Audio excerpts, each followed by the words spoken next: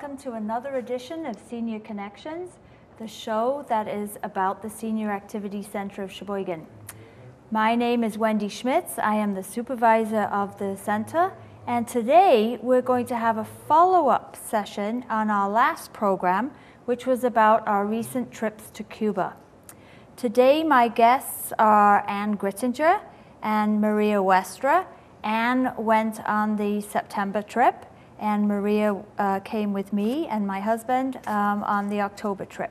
So, Ann, could you introduce yourself a little bit, please? Certainly. Um, I'm Ann Grittinger, and um, I actually live outside of Oostburg. It was um, our first experience going to Cuba, although we've traveled other places and love to travel now that we're retired. And you went with? I went with my husband and with uh, 11 other people from, or 10 other people from the Sheboygan area. And Maria? I'm Maria Wester, and I always I like to travel. And when the Cuba trip came up, it was like, what better place to go with a group of people? So I asked my friend Anne to go along, and didn't take her too much convincing. and Anne, what is it about Cuba? We asked Margaret this in our last show. What mm -hmm. was it about that particular trip that intrigued you? Well, I thought it was interesting to um, find out more about the culture um, I'm very interested in the arts, do a lot of volunteering with the Art Center, and so the opportunity to see the art and the architecture, the music, were all very interesting to us. And your husband had a specific reason for wanting to go. Do you mind briefly touching on that? well, he wanted to go. He wanted to see, he was hoping to see um, some of the more of the bio, biology of the area. He wanted to see the crocodiles, he wanted to see some of those things. Unfortunately, they was pointed out that it's three miles down the road that way, um, but we didn't go that way. But there were still lots of things for him to see. And as a painter? And he... as a painter, yes, he's doing a whole series of lighthouses right now. So he was interested in taking pictures of lighthouses and and uh, some of the water scenes there. Very nice. Um, in our last show, um, Rita was the uh, interviewer, and she asked Margaret and I um, basically about our general impressions of Cuba. Um, and of course, the reason we explained that the reason why we were able to go is because now the embargo has been lifted somewhat, and we're able to do a cultural exchange uh, from America to uh, meet the people of Cuba. So, what I thought today would be fun would be to continue the conversation and um, talk about some of the people um, who we were able to meet. We started our trip in Havana, and um, I believe um, that our schedules were probably different, mm-hmm. um, but Maria and I, our very first um, trip outside Havana was to um, the children's performance at the Art Center in Santa Clara. Right, Maria? Well, it doesn't really matter what the timing was. Um, how would you describe the experience of, the, uh, of meeting the children and what were they doing for us? Oh my gosh, they were just so exuberant, so exciting to see us when they greeted us and they handed us their flower, their national flower, which is the jasmine, I believe. And they were just really take a pick and to see them perform. There was a group of 60 children at this school. They are into the music, the dance, um, and the arts. I believe they're painting. Um, wow, they're just outstanding. They're just like little grown up people performing their national story through dance and music. And um, uh, one of the things about the trip that I enjoyed was that we got to participate. um, it was a little bit like getting Lutherans to participate. Um, I don't think that we're quite as exuberant as, as you described them to be. Um, I know it took a little while for us to warm up in some cases, but we did get to dance with the children, Always. and it was hard to resist. Um, and did you get that same opportunity? Yes, we did. Um, the children came out to the audience yes. and took us by the hand and led us on. The production that we saw was Romeo and Juliet Go to Cuba. Oh, oh really? and they said, we won't be, it'll take too long if we, we translate along the way, but we think you'll get the idea and you can ask questions at the end. So it was interesting. They started out with a, a farmer and his dispute with a crow, and the children depicted that wonderfully. And then they went on to do the little Romeo and Juliet story, which we all knew. So, and then they pulled us out and uh, had us dance with them. Now, I know that for some of the people on our trip, it was the highlight of the trip was that particular performance. Some people said. Um, what struck you the most about it, Anne? Um, the children's enthusiasm about the arts and the dancing and their singing and their openness with strangers coming into their school. And I know you had mentioned when you came back that um, what struck you was um, how they managed to um, uh, be very resourceful about their costumes. Do you remember about their shoes? Um, they, they, yes, they, um, in our, if we went to recital here in the States, all the children would have either the black or the pink or their little white slippers, and they had slipper socks and things like that, and it didn't matter. It was the performance that was the important thing mm. for them. Lovely. Yeah. They, they reminded us a lot of our granddaughters and and uh, in the performance and the children, and they were eager to talk to us and tell us, oh, this one's my brother and this one's my cousin, and um, so it made it feel more like family, like a family sort of gathering. Yeah. Um, one of the highlights that I've talked about for me personally was when we went to the Literacy Museum, um, which um, was actually uh, outside Havana. Um, Maria, can you talk a little bit about what the Literacy Museum was all about and who we met there? The Literacy Museum was, um, well, when Fidel Castro came into power in 1960, he wanted the Cubans all to be literate, have the ability to read. So he did a campaign to recruit um, anyone who wanted to go out and teach the people how to read. Um, and this was to the remotest areas up in the mountains. And some of these children that went out, um, they had to leave their homes for months at a time. They went up into the mountains um, to help the farmers learn to read. But part of this um, involved the children or whoever went um, to help the farmers with their chores. And then in the evening, after all their work was done, they would sit with lanterns and mull over, um, do all, teach them how to read and whatever had to be done. We didn't get to meet the people uh, per se who were part of that campaign, but there's a wonderful picture on the wall of an eight-year-old boy who left his family and, um, and, and went to live with a, a farming community. And um, I think what struck me is he's exactly the same age as me, and now he's a veterinarian. And uh, just the idea of letting an eight year old boy leave your home and, and go off in this, what must have sounded like some wild mission. Well, it was interesting because they showed us the video that you probably yeah, also saw about the whole campaign. And then at the end, the lady who was at that museum and said, and Freddie here, who was our bus driver, was one of the teachers.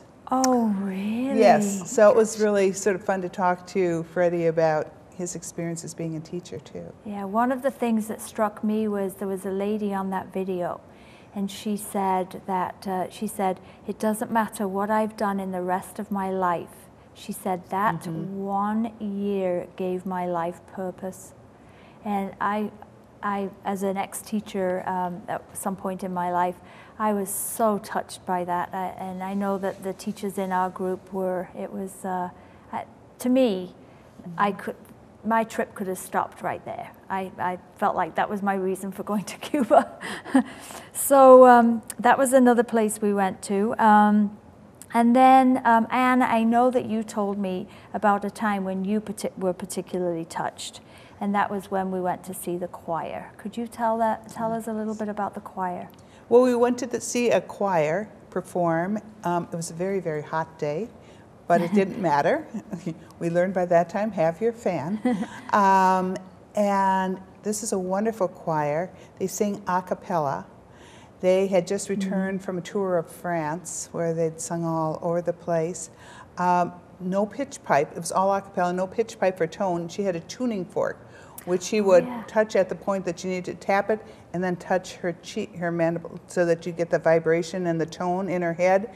She'd do a little humming to give everybody their parts, hum the little first part to get them into the right key, and they'd start singing. And it was absolutely beautiful. They sang um, a rendition of Shenandoah, and they came around and sort of surrounded us into the aisles and sang it. It brought tears to my eyes. It was so beautiful. It was so beautiful. Yeah, uh, it's interesting that you talk about how hot it was because Maria, do you remember? Just like everywhere else we went, uh, we're listening to this incredible, internationally famous choir, and of course we're drinking the mojito that uh, you get when you when you go anywhere. Did, did you get No. me? Oh my gosh! No, yeah, we no. did. Yeah, it seemed a little strange to be in this um, auditorium, and we weren't able to take pictures there. Obviously, that would have been distracting, I think. Um, but we're able to hang on to our, our obligatory uh, mojito, which I got quite a taste for while I was there. Because Um, ours was right after lunch, so maybe they Oh, thought we oh, had. Oh, we, we went before bef- lunch. before lunch, didn't we? Yes, it was lovely. And one of the questions that I had when we were watching the, the choir was, how on earth can all these people, um, you know, have taken off work to come and do an hour long or whatever the performance was that, that we enjoyed? But that was actually their job, That's their wasn't job. it? That is their job. and they travel around the world Mm-hmm. um, and doing doing that. Um, which reminds me, um, we know that not only have travel restrictions um, eased for Americans to go to Cuba, but they've also eased for some Cubans to travel. And I think that was surprising for me. And Maria, do you remember when we went to Remedios? And uh, we went to um, a church that's being renovated. And we met the town historian and we met the artist that is renovating the church. And he had actually traveled um, quite extensively outside Cuba and, um, and has been invited to do residencies in other places. I can't remember his name, unfortunately. Um, do you remember um, the work that he did, that gold altar screen, that whole wall that was covered?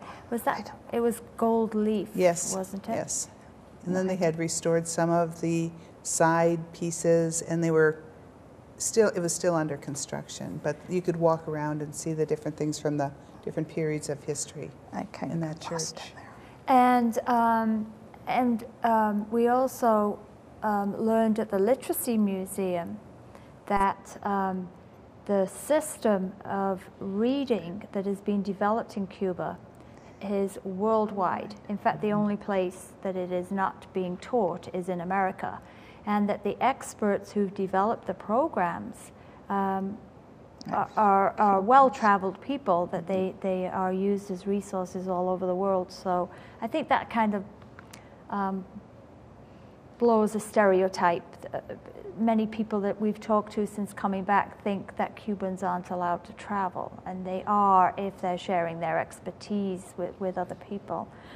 Um, uh, who else did we meet? We met so many people and did so many things. It's sometimes hard to remember what we did. And I know that you had a slightly different um, experience when we went to the Museum of Fine Art, and that you made a, a very personal connection. Can you tell us about that? We didn't have that same opportunity to meet somebody. We met a very lively and wonderful guide that um, took us through the museum, proudly showing off modern history, which isn't quite as, it went from a time farther back than just really contemporary, but very happy to show us. And because we had had a Cuban artist um, at the John Michael Kohler Arts Center uh, a few years ago, who had a big exhibition there. I asked him if he knew about this artist, and perhaps I didn't pronounce his name in a, in a Cuban accent, but he wasn't quite sure what I was talking about. So I told him I'd send him uh, the, the newsletter and the write up, the curatorial notes. Sent it to him along with when who took it for me, and um, he was excited about that. He's also his favorite singer was Dionne Warwick, so um, I sent him a CD of Dionne Warwick. That was a little tricky to find one of those around in the stores anymore, uh, but sent it to him, and he was thrilled. And he did know about the artist. Then it came back, and he had had an exhibit there also in 2009. And so we were chatting about that, and, and that so that was that personal connection where you could talk about artists that we both knew um, and the representational things, things that don't necessarily reflect real positively uh, on a government where they're finding exception to the government. And in his work, this artist was showing some of the problems. His mother is still mm-hmm. in Cuba, he's in Florida. Uh, they're talking on the phone, and, and yes, it's raining here too because it's only 90 miles apart. Hmm. Um, so it was really interesting, and hopefully, um, with some of the easing of the restrictions, and if there is enough money to do it, he'd like to come and visit the United States. Not to live here, but he would like to see some of our art museums also. Right, and you are in contact We're with him emailing mm-hmm, now, back right. and forth now. Right, and Maria, you are in contact with yes. our guide. Leanne, yes, and she was quite thrilled to hear from us that we're still all a buzz about Cuba and putting the word out there for other people to travel. And do you imagine that we will see her one day? I'm hoping so, in one way or yes, I think so. We can see to that. And did you get the impression when we were there that um, her goal is to travel? I know she wants to go to Spain, which oh. is where her family originated from, and she wants to go to France. Um, but did you get the impression that she wants to reside anywhere else other than Cuba? No, I don't. She is very Cuban at heart, and I think she always will be. She wants to explore the world, just like most of us do. But no, definitely not. I think Cuba is her home. And she also very much wanted to take advantage of the uh, Cuban educational system. Oh, for sure, for yeah. sure. And um, because she knows so many languages, I think that's why she, I'm not sure if she had gone to France to study or she had that availability, but uh, I'm thinking she will go there to enhance her understanding. I think that's one of the wonderful things with the guides. They were very personable with us. Mm-hmm. They answered questions as honestly as they could, um, and uh, just made it very much known that they were very proud of their country and mm. let us know what the history was and um, dealt with anything from economics, the money system, um, the ration system, all of those things that we had heard about, but to hear it from someone that's experiencing it, that's living it. Our guide was the um, basically breadwinner for her family that consisted of her grandmother, her parents, mm-hmm. herself, and her daughter, although her, her grandparents, her grandmother and her parents are now pensioners, but it's that wouldn't be sufficient. But it was um, really nice to hear about their personal experience living in Cuba. Maria, you and I have talked a little bit about that. Maria and I don't have American passports, so it, in fact, we would be able to go to Cuba um, uh, from our, either the countries where we have our passports from or through Canada or Mexico.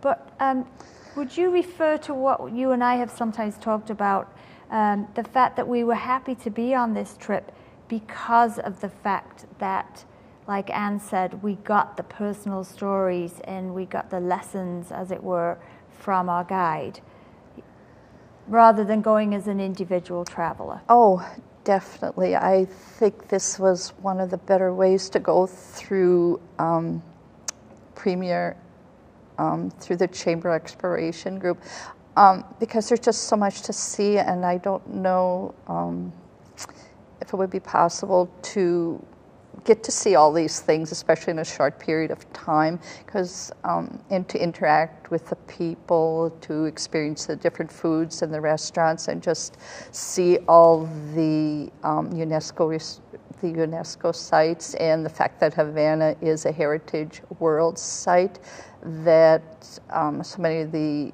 um, city squares are areas of importance have been restored, like the churches, and and now they're restoring um, along the Malecon, one of the main highways that runs along the Caribbean.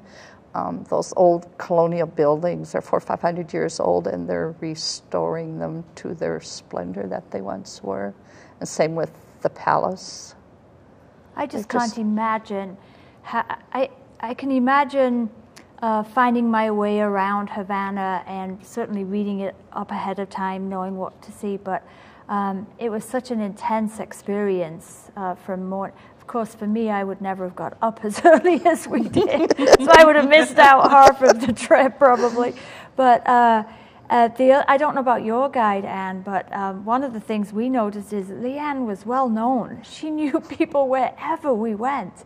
And so we had these immediate connections with people. Let's talk about, um, I know it was one of your favorite places, it was certainly one of mine. And that was when we went to, um, is it Del Mar, where uh, the street ceramic art is?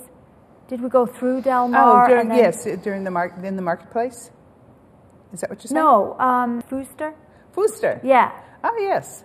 Uh, Fuster is a Cuban artist who's an environmental artist. He has, he's a ceramicist, uh, a painter, and uses recycled as well as tiles that he fires there, also paintings. Um, he is well known. He has exhibited in the Twin Cities. He has paintings and ceramics on exhibit in New York City. Um, we were invited to his home, his gallery, uh, and wander around the courts. And he hasn't limited his art to himself, which is a wonderful thing. It's like this small, narrow street, uh, residential street, but all the neighbors have pitched in, and they take all the tiles, and so all the um, it's a ceramic tiled fence line almost uh, with the, down the whole street. Everybody's gates are all decorated, so it all matches. And then you walk into this, and it's just whew, this whole uh, environment filled with color and tile. And Maria, it's hard to um, describe what that neighborhood looked like other than the art. Um, some of our group would say it was poverty stricken. Some would say it was very simplistic, and some would say um, that it was crumbling. Um, but it's not what you expect when, when you first, it's just pure joy to see It this is. art coming out of, is. of nowhere kind of thing. And I think whether you say poverty or it's what is your standard? Yes, Is it the yeah. U.S. standard? It's like saying when we went, they showed us both the regular grocery store that you would use your Cuban pesos in, and your other grocery store that you would use your CUCs in. That was a bit bigger and fancier. It was air conditioned, uh, but it was small. It was very small. It is nowhere near our big supermarkets, but that's normal Right. for them. Um, and to so to criticize and say this is just pop, it's what you're. What are you accepting? Are you content with this, or do you have to have all these other things? And they're much more content with a whole lot less than See, we are here in the United States. I think Maria and I came back with the same Very impression. much. Very much. Now, they're very resourceful. yes. Now, I know, um, I don't think your group got the opportunity to do this, but um, we were very fortunate. My husband would say it was the highlight of his trip. Um, on the last evening that we were there, we got to go to the Buena Vista Social Club and we got to uh, actually meet the um, elderly Cuban musicians. Um, Maria, can you talk a little bit about that? What that was like? We kind of let loose that night. Um, I was just, I don't know, I've never been to one of those before, so I'm not sure. What were you expecting? I think I was expecting a theater. Because it, we were going to see a music group. And it, what did it look mm. like? It was more like Just a, I don't want to call it a bar, just a a cafe. cafe, I guess as they would call it there.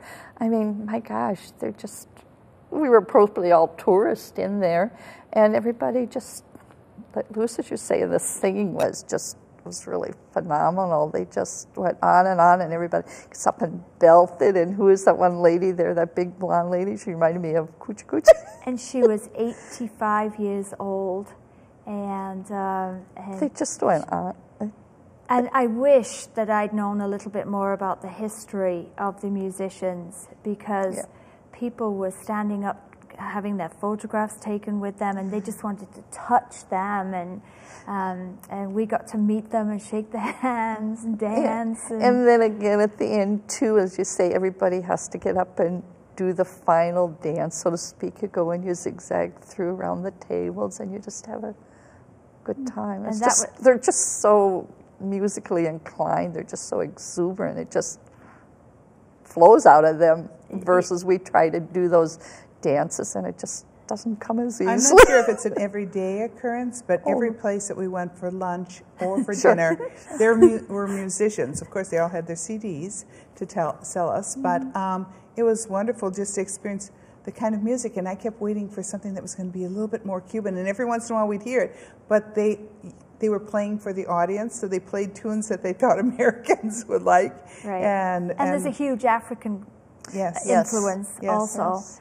Um, and, and I think that points to the fact that when we went to see the children, we were actually going to um, like a, a cultural center that children go to when they're not in regular school. That's right. And that's one of the things we learned is that um, because of their culture and because of their political system, they, they, everybody has access to the arts. And I joke about the fact that um, I'm not a very musical person, but that we came back and every morning when you get up in the morning, you, you kind of singing and dancing your way into the elevator because it becomes such a part of you, doesn't it, when you're there, the whole music thing. So, well, again, time has gone extremely quickly, and uh, I thank you very much for coming on the trip and for being my guest today.